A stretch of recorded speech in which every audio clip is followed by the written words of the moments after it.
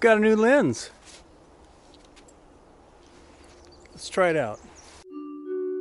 My name is David Patton. When I started photography, I wanted to make art. But with bills to pay and a family to feed, I decided it would be better to be a working photographer than a starving artist. So I took a job as a photojournalist. 25 years and thousands of assignments later, it was time to go back to my first love. Come along as I follow my passion trying to create art that shows the essence of nature in a photograph. I'll be sharing my successes and my failures in hopes to inspire and educate. This is my journey. This is Riding the Edge.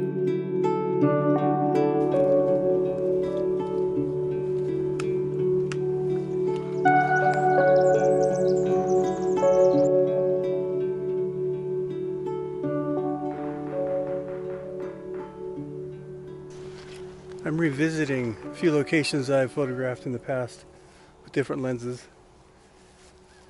I only have about an hour this morning, so I'm so I'm so anxious to use this lens, so excited to get back out here that I'm just gonna make a few quick shots and then and then we'll uh, have to head home.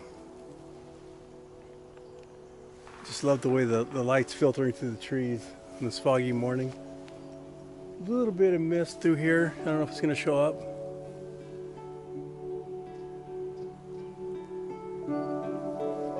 It's a good morning to be out. I wish I had more time though.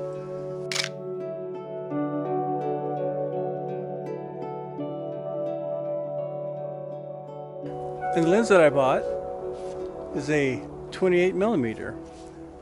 This one happens to be the Nikon 28 1.8 G lens. It's their newest 28 before they went to the Z mount. It's a fairly modern lens and it's kind of expensive for for what it is. But I felt like if I was going to buy something, I wanted something that would be able to go with me for a while. So if I put a, if I did go mirrorless, I could put an adapter on this and use it. What I'm doing is I'm going to be using just this lens for a while. I want to get to know this focal length again. I started my photography career with 28 millimeter. That was 30 plus years ago. This was the first wide angle focal length that I went with, and I used that only as my wide angle lens for probably about six years. For the past five years, I've used only one wide angle lens for 35 millimeter, and that was a 20 millimeter. When I left journalism, I left the wide angle zooms behind. Wanted to try something different, wanted to go back to working the way I used to when I first started, and that was with a prime lens. And I thought the 20 was all I needed. And if you follow this channel at all, if you've seen any of my videos, you may have heard me say that I wish I had something between 20 and 50. I, I just felt like there was a, just a little bit too big a jump. And there are times where I'm in the woods especially that the 20 is just a little too wide. And I'm hoping this 28 millimeter kind of fits that role, becomes my go-to woods lens when I want something wide. It's a wide angle lens, but it's not real wide. As it usually is with me and my budget. To make room in my budget for this lens, I had to give up something. I had to sell a piece of gear. That's the only way I could afford this lens was to sell something photography related. It always hurts to give up something. If I didn't feel like this was an important piece of my vision, of my creativity, I probably wouldn't have been willing to give up what I did give up to get this lens. So it's got some big shoes to fill. now I didn't I didn't give up a lens. I, I did give up something else though that was kind of dear to my heart. But glass comes first.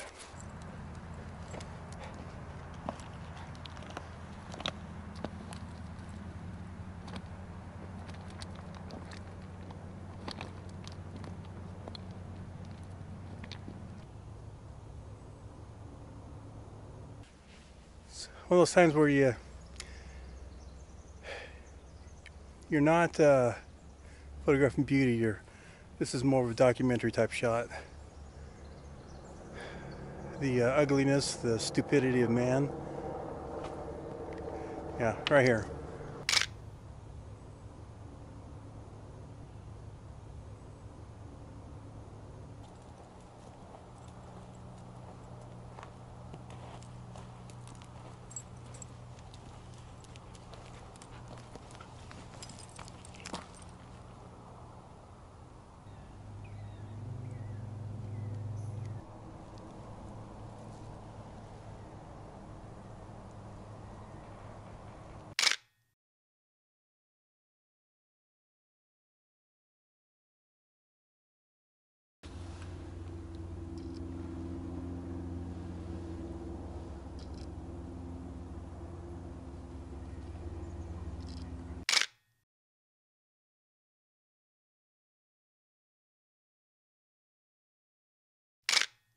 This uh, little patch of grass growing out of this old dilapidated stunt caught my attention. I was shooting it as a part of the landscape and then I noticed this poking out. It just seemed like an interesting piece of contrast.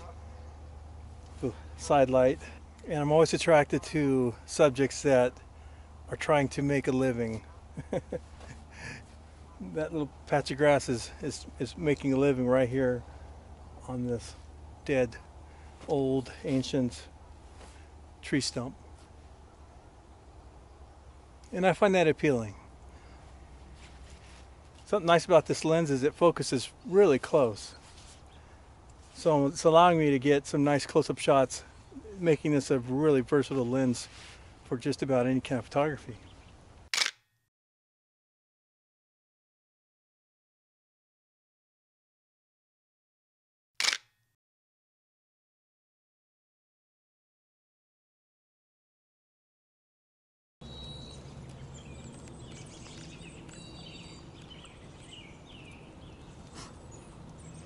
If you look real close, there's little drops of dew on the outside edges of these plants.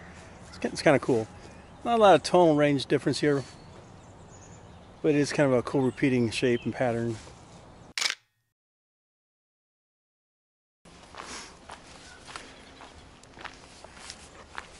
Why this 28 millimeter?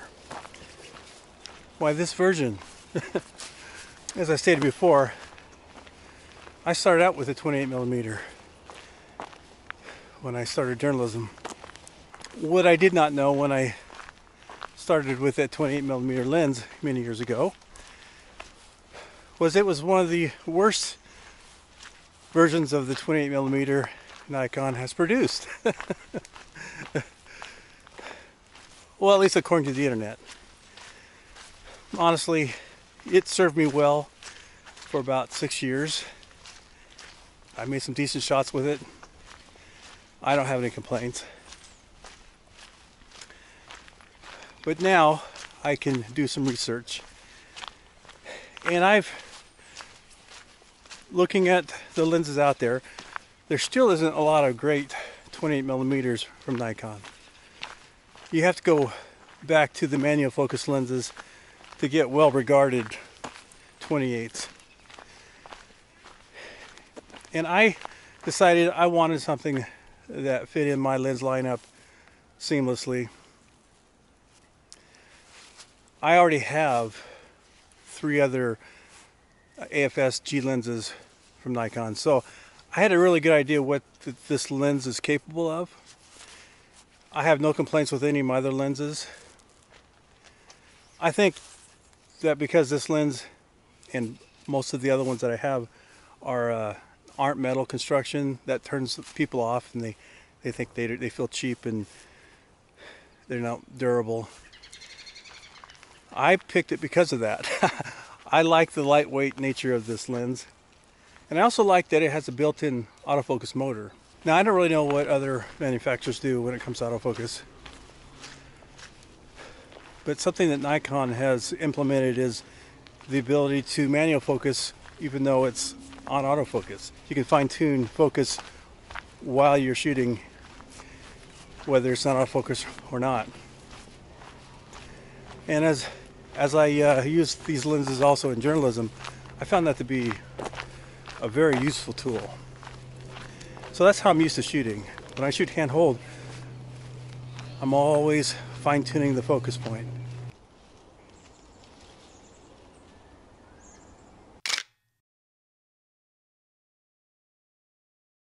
Now I'll probably still manual focus most of the time. I, that's just what I usually do with, especially with wide angle lenses. But it's nice to have the ability to go out of focus if you need to. And this does manual focus pretty nice. It's the manual focus ring is very dampered. Not as smooth as a manual focus lens, but very functional. This lens fits well with the other lenses in my uh, arsenal. When I pick it up and use it, it feels very familiar.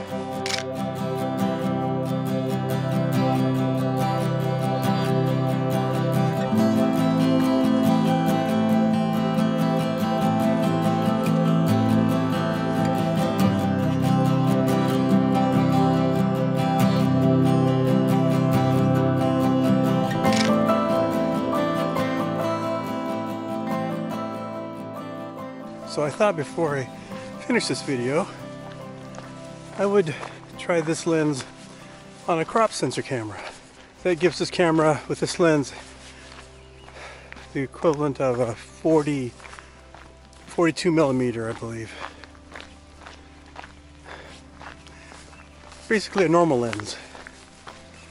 Just to find out if this is a lens I want to use with this size sensor. The normal focal length can be pretty useful at times. And mean that this is such a light lens, it hardly feels like there's anything here around my neck.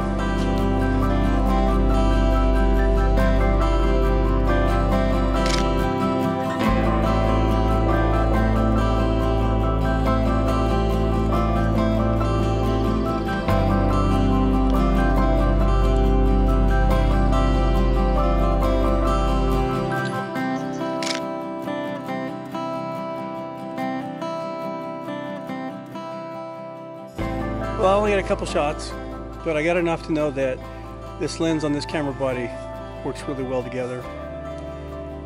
Something I'll probably do a lot more in the future. And if you can't tell, I'm quite pleased with this purchase. This is probably going to be my default lens on no matter what camera I'm using. So I think we're going to end this video right here. Let me get home and do some editing. Until next time, Thanks for coming along for the ride.